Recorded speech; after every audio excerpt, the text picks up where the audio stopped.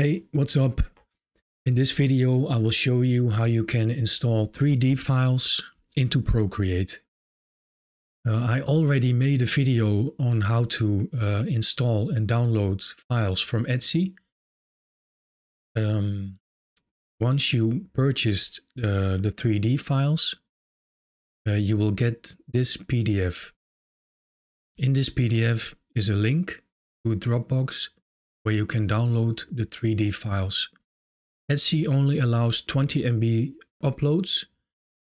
So for any bigger files, uh, sellers have to use external services.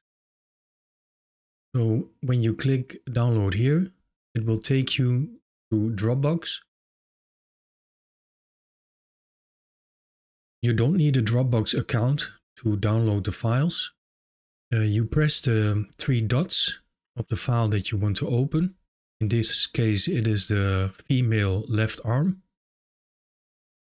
And you download it to your iPad.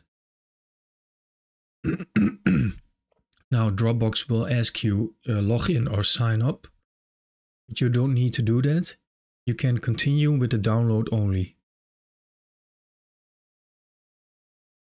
Okay, now the file is on your iPad and it is very easy. You can just tap open in Procreate. Let's do that. Now it is importing into Procreate and here is your file.